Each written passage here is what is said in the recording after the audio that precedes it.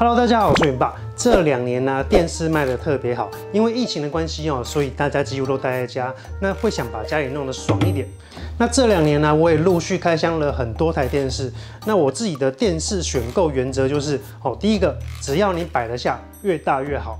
那第二个就是内建安卓 TV OS 以及内建 Netflix 哦，它可以支援原生的 4K，能够扩充各种的 App。那第三个就是 QLED 量子点的面板，它的色彩会更好，对比度会更佳，黑色也会更纯净。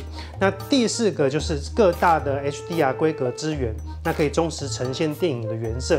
那第五个就是大家最需要的手机投影。不管是安卓啦，或者是 iOS，那今天介绍的这一款就是我开过最大大到超乎想象的电视，就是我身后这一台 JVC 七十五寸 QLED 的量子点超大型显示器，它的型号是 JVC 七五 LQD。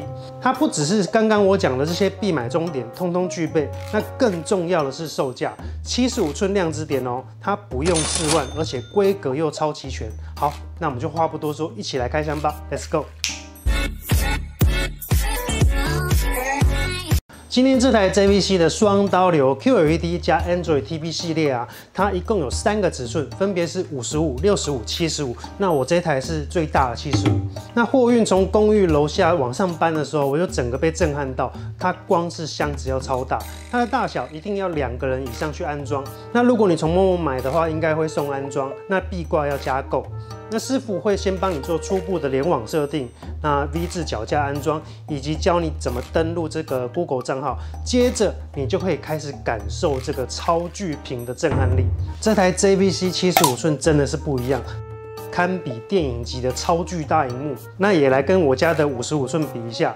本来我已经觉得五十五寸蛮大，可是看过七十五寸之后，真的是回不去。JVC 七十五寸 LQD 真的是超级大，它的宽度啊，就差不多等于我的身高再多一点。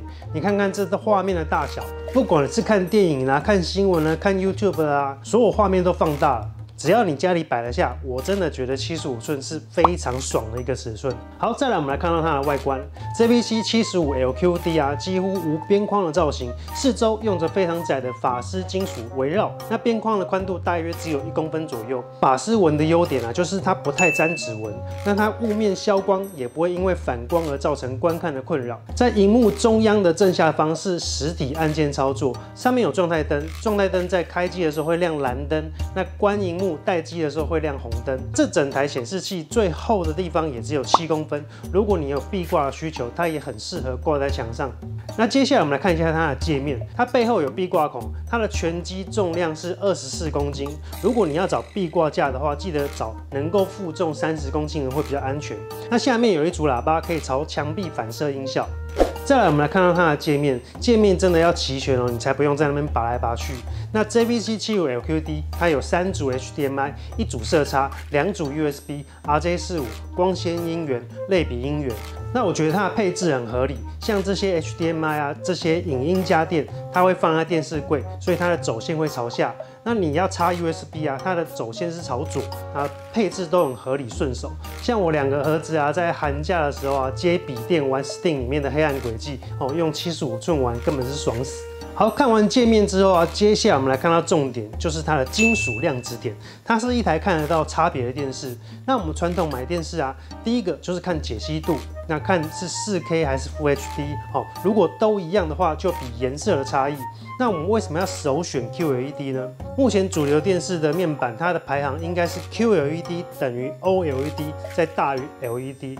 QLED 的量子点面板就是高彩度，色彩饱和度很高。那它的金属量子点滤光变可以增强色彩跟对比度，而且它的显色数高，可以接近人眼看到的画面，极广色域哦，大于百分之百，可以显示更纯。净的颜色。那我在这边展示一下一些我们平常看到的画面给大家看。比如说 YouTube 是大家最常看的影音平台，好，各种内容都很丰富。光是在上面就有很多高画质的影片。那 JVC 七十五 LQD 可以让你直接看到 4K HDR 的画质。那它的色彩浓郁饱满，看什么都是享受，而且真的好大。那像我自己家里的客厅啊，大概是三公尺的宽度哦，以前我坐在沙发上看着五十五寸的电视，虽然觉得画质不错，可是因为有一点距离，所以你会觉得嗯那个画面看起来好像就是看电视的感觉。可是这一次换成七十五之后，同样的距离看更大的画面啊，以前觉得在看电视的感觉，现在真的像在看电影。很多以前觉得皮肤不错的明星哦，现在我在家里看他的肤质都看得一清二楚。而且更重要的是，它是内建安卓 TV 正版 OS 授权的一台显示器。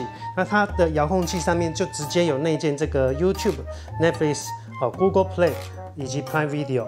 那除了内建的之外啊，你也可以自己去下载 Disney Plus、哦 Apple TV、KKTV、My Video 这些各种热门的影音 App 都支援。那你可以直接看里面 4K HDR 的影片，很重要。好，接着我就直接让你看一下 Netflix 目前最红的一些片段。哦，那一定要原生支援 Netflix 才会有 4K HDR。哦 Netflix 比较贴心，它在片头的左上角就会直接显示它有没有支援 HDR。比如说像过年期间最红的这一部《华灯初上》，哦，杨锦华在这部戏真的是气场全开，每一幕都非常漂亮。你看看这细节，七十五寸哦，真的是每个女明星的梦魇，看得太清楚了。你看她的皮肤啊、妆感啊、皱纹啊，都无所遁形。再来过年期间，我也看了这个《僵尸校园》哦，班长南拉变成祢豆子，真的是超帅。还有《鬼灭之刃》油锅篇，这个号称经费燃烧的第十集，不管看什么，它的画面都超大、超精细，而且颜色饱和。在家里看啊，真的是爽度非常高。再来有安卓 TV OS 的优点啊，就是能够扩充，那而且它不分平台，像是 Apple TV 啊、Disney Plus 啊、KKTV、爱奇艺、巴哈姆特动画风，你要装什么就看什么。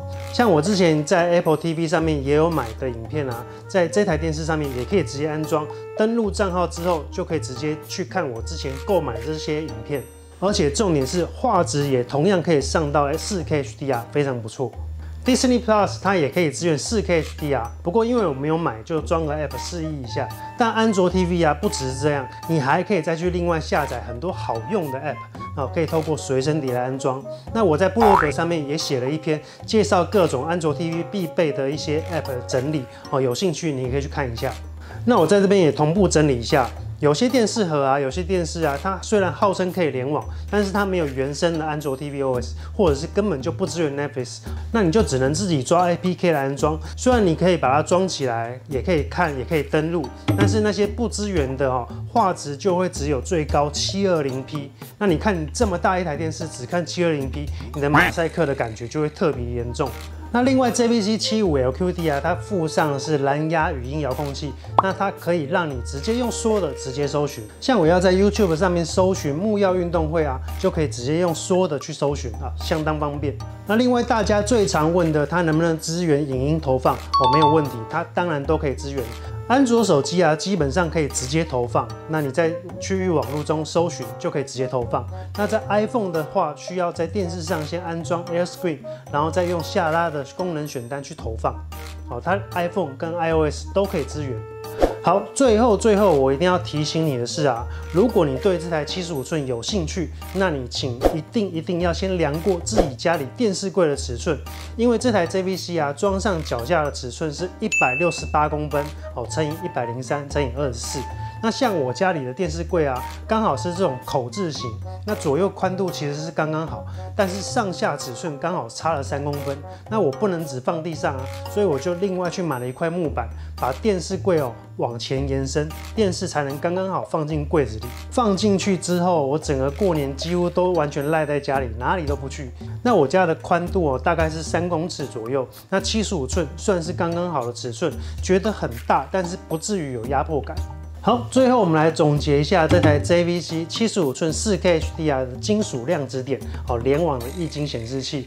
那我想目前市面上啊画质最好的面板应该就是 QLED。那如果你要更好，只能看 Mini LED，但是它的 CP 值真的是不是很高。那这台 JVC 七五 LQD 有量子点 QLED 电视，那无论是画质、大小、颜色、系统都是一次到位，而且它还能扩充各种影音 App。外接随身碟看电影或看照片，或者是支援手机的无线投影，而且重点是它的售价只要四万有找，还有三年保护。那我想哦，只要你家里摆得下，你真的是不会后悔。